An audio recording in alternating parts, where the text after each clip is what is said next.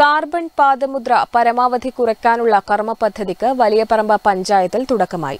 Net zero carbon ജനങ്ങളിലൂടെ പദ്ധതിയുടെ സംഘാടക സമിതി രൂപീകരിച്ച ജില്ലയിലെ ആദ്യത്തെ ഗ്രാമപഞ്ചായത്താണ് Valiyaparamba.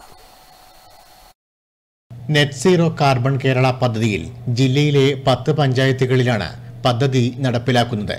ഹരിതഗൃഹവാതകങ്ങളുടെ പുറന്തള്ളൽ അന്തരീക്ഷത്തിന് ഹാനികരമല്ലാത്ത രീതിയിൽ നിജപ്പെടുത്തുക എന്ന ലക്ഷ്യത്തോടെയാണ് നവകേരളം കർമ്മ പദ്ധതിക്ക് കീഴിൽ നെറ്റ് സീറോ കാർബൺ കേരള പദ്ധതി നടപ്പിലാക്കുന്നത്.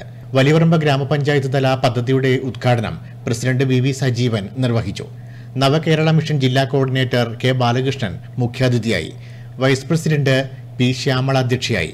വികസനകാര്യ standing committee chairman Khader Pandyala ആരോഗ്യ വിദ്യാഭ്യാസ standing committee chairperson E K Mallika ക്ഷേമകാര്യ standing committee chairman K Manoharan panchayat അംഗം Devarajan Haritha Kerala mission R P Devarajan master ആസൂത്രണ സമിതി ഉപാധ്യക്ഷൻ V K Karunakaran panchayat secretary M P Vinod Kumar V O Sukesh എന്നിവർ സംസാരിച്ചു.